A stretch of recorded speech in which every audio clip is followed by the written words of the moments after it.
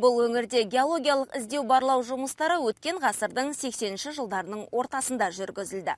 Ал ең алғашқы мұнай өнімі 1990 жылы берілді. Армысыздар қазыналы мекен бағдарламасы қызылорда облысындағы құмкөл кен орнында.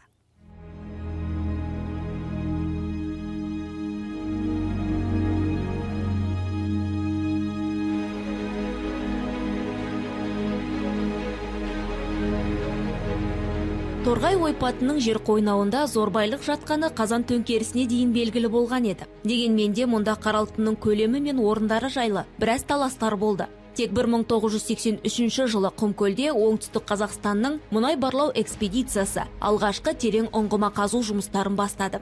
Ал 1986 жылы мұнда күрделі құрылыс бөлімі. Бір жылдан кейін құмкөл мұнайгаз өндіру басқармасы құрылды. Сол жылы қызылқұмда аймақтағы жаңа саланың дүниеге келуін білдіретін алғашқы мұнай мұнарасы бой көтерді.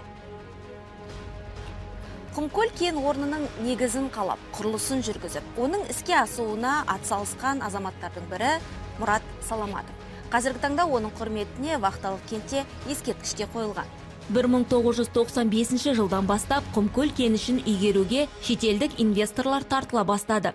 Инвестициялар ағыны өндірістік мәселелерді шешуге компанияның табысты дамуына септігін тигізді. 1997 жыл мен 2001 жылдар аралығында оңтүстік құмкөл қызылқия арысқұм майбұлақ секілді жаңа керн орындары игерілді.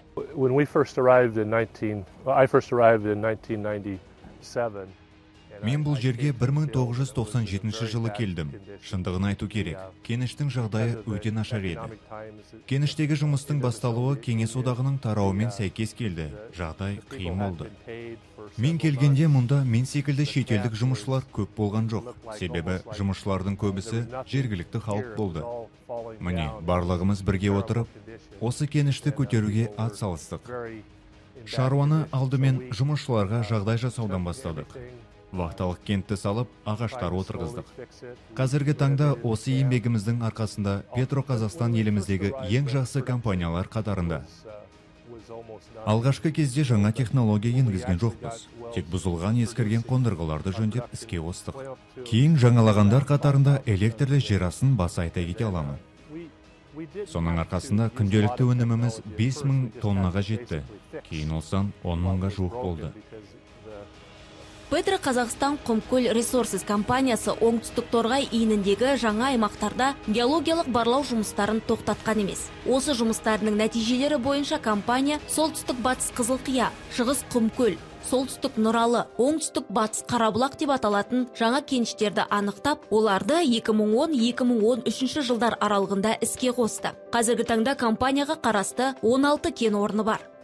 Соңғы жылдары осы 2006-тан 2015 жылдың аралығында 12 местораж жаңа 12 месторождение ашылды. Оның жаңағы мұнай қорының запасы саналған. Қазір ол үкіметтің балансында бекітілді. 78 миллион геологиялық запасы бар. 26 миллион республика алынатын запасы бекітілді. Былтырғы жылғы барлау жұмысының нәтижесінде біз мұнай қорының жаңадан тапқан екі миллион бес жүз тоннадай болады жалпы былтырғы жылы он үш разведочный скважин қазылды. Отыздай оценочный скважин қазылды. Осы биылғы жылғы жоспар бұл он алты скважин қазу. Мұнай жаңадан мұнай қорын табудың бағдарлап отырмыз. Где то жалпы екі миллионға деп бағалап отырмыз. Екі миллион мұнай жаңа мұнай қорындарын ашуымыз болады деп жоспарымызда бар. Іске қосылған кеніштерді игеру барысында аумақтарды бұрғылау және орналастыру бағытында айтарлықтай жұмыстар атқарылып құмкөл қазіргі таңда елімізде қарқынды түрде мұнай өндіріп келе жатқан орынға айналған. Қазіргі таңға дейін қазылған ұңғымалар 281 ұңғыма. Оның ішінде топтық қондырғы 18 топтық қондырғы бар. Алдын ала судан айыру қондырғысы алтау.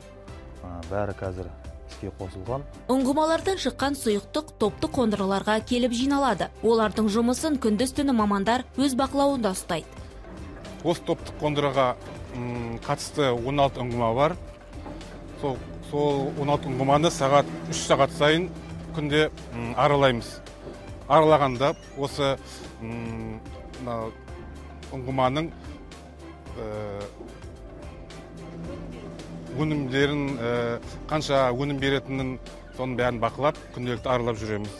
Бұл ұңғыма күніне жиырма куб жеткізіп береді. Сол күнделікті осының ішкі қысымын сыртқы қысымын мынау оборудованиенің жұмыс істеп тұрғанын бәрін соның бәрін тексеріп қарап бақылап жүреміз.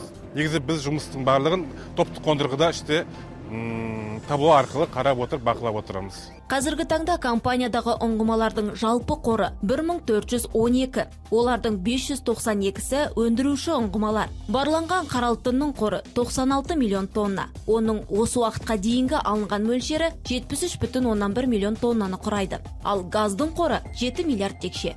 Бүгінгі таңда кеніштерде мұнайгаз жинау және кеңшаралық тасымалдау қабат қысымын қалыпта ұстау жүйелері толығымен өзгертіліп ауыстырылған. Тауар мұнайын дайындау цехтарының қуаттылықтары артылған. Бізде алдын ала суайру қондырғылары бар. Олардың жалпы саны құмкөл бойынша алты қондырғы. Қанша енді алтауы алтауының айдап тұрған жалпы суы отыз екі мың текше метрді құрайды. Оның отыз екі мың текше метрдің орташасы где то орташа саны біздің бкнс қондырғысы бар. Ол бкнс деген бізде жаңағы жер асты қабатының қысымын ұстау цехы бар. Сол цехқа кетеді да сол жақтан сораптар арқылы жер қабатына айдалады. Иә жер астынан шыққан су май бөлініп алғаннан кейін қайта жер астына жіберіледі ғой. Оның көлемі жеткілікті ма? Оның көлемі қазіргі таңда бізге жеткілікті. Бізде бұрындары ұңғылар болатын әдейі осы ілеспе судың аз болуына байланысты біз ол ұңғылардан су алып жер асты қысымын қабатын ұстап тұру үшін жер асты айдайтынбыз. Қазіргі уақытта біздің жалпы судың көлемі жеткілікті болғандықтан біз қазір ол ұңғыларды пайдаланбаймыз. Ілеспе суды жер астына айдаймыз. Қанша адам жұмыс істейді? Жалпы осы қондырғыда күндізгі ауысыммен екі адам жұмыс жасайды түнгі ауысыммен екі адам жалпы төрт адам жұмыс жасайды тәулігіне. Бұндағы жүріп жатқан процесстер үзілмейді сол, сол себепті екі ауысыммен жұмысшылар жұмыс жасайды. Петро қазақстанның кеніштерінде екі жерасты қабат қысымын ұстайтын қондырғы бар. 17 сорап арқылы тәулігіне әрбір станция 29 мың текше метр суды жер астына айдайды. Біз енді қазіргі мақсатымыз учаскелерден бөлінген суларды осы жер асты ұңғыларына айдаймыз. Бізде жүзге жүз ұңғымыз бар. Тәуліктік айдайтын суымыз елу сегіз мың елу сегіз мың куб суткасіне айдайды негізі упсвлардан бөлінген су осы екі қазан резервуарларымызға келіп түседі. Ол резервуарлардан бізден центробежный насос дейміз центробежный насостар арқылы жүз жиырма килограмм қысыммен жер астына айдаймыз.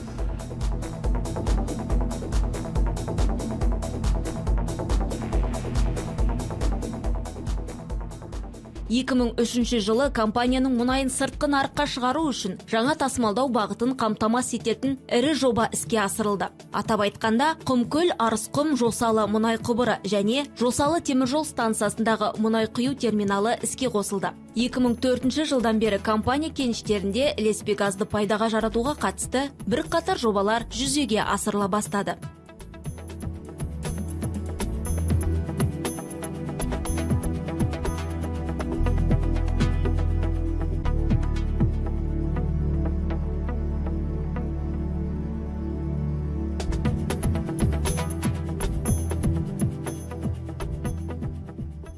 Құмкөл кен орнының аумағы өте үлкен. Мұндағы өндірістік нысандар туралы келесі бағдарламада жалғастыратын боламыз. Ал мен сіздермен қоштасамын бізді 24 кз телеарнасының сайтынан және әлеуметтік желілерден таба аласыздар. Кездескенше.